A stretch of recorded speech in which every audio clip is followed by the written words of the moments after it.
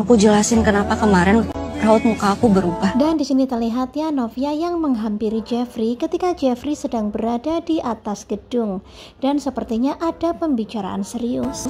Karena aku nemuin sesuatu di kopernya ayah. Kemudian akhirnya Novia pun jujur kalau dia telah menemukan sesuatu di koper ayahnya.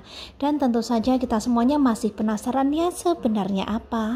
Dan maaf aku nggak langsung kasih tahu kamu. Kemudian Novia pun meminta maaf kepada Jeffrey dan di sini kalian bisa lihat ya wajah Jeffrey yang sepertinya lagi bersedih. Karena aku mau mastiin dulu. Tapi sekarang aku udah tahu jawabannya apa. Kemudian Novia pun mengatakan kalau dia sudah menemukan jawabannya. Nah tentu saja Jeffrey pun jadi bertanya-tanya ya.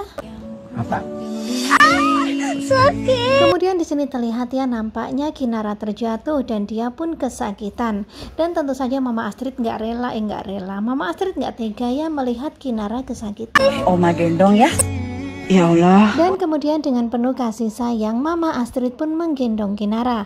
Ya tentu saja Mama Astrid sangat bahagia. Ah, begini ya rasanya menggendong cucu perempuan. Ya tentu saja bahagia banget ya karena Mama Astrid bisa sedekat ini sama Kinara, cucu perempuannya, anak Roni juga. Kantor cabang di Samarinda membutuhkan komersial manager. Kemudian di sini terlihat ya Pak Reza yang menawarkan mutasi untuk bekerja di Samarinda.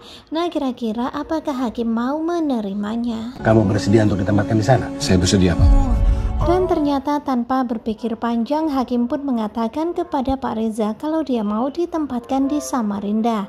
Nah tentu saja pastinya nanti akan terjadi konflik kecil ya antara Hakim Tami dan juga Mama Indri beserta ayahnya. Nah tentunya pasti makin penasaran ya dengan kelanjutan takdir cinta yang kupilih pada hari Selasa 17 Oktober 2023 hari ini. Simak kelanjutannya hanya di SCTV dan jangan lupa terus dukung sinetronku.